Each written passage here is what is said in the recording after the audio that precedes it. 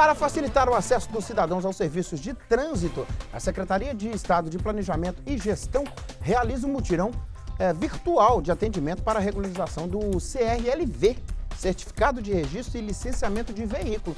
O coordenador estadual de gestão de trânsito, Bruno da Silva, ele vai contar para a gente detalhes nesse vídeo. Põe ele para falar aí, DS.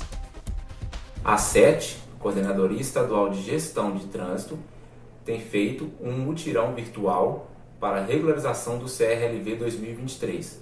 O objetivo é prestar o serviço de uma forma rápida, prática e eficaz, sem a necessidade de um deslocamento até a unidade física. O serviço fica disponível durante todo o mês de agosto, pode ser acessado pelo proprietário do veículo e é necessário ter em mãos documento de identificação. Lembrando que o atendimento virtual é feito de segunda a sexta, de 8h30 às 16 horas.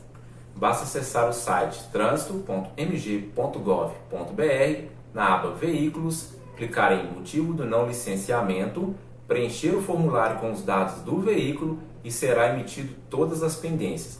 Caso ainda persistam as dúvidas, poderá realizar uma chamada de vídeo através da conta Gov e será redirecionado para um atendente especializado.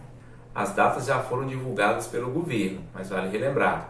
Placas com final 1, 2 e 3 a partir de setembro, 4, 5, 6 a partir de outubro, 7, 8, 9 e 0 a partir de novembro. E o recado está dado, né?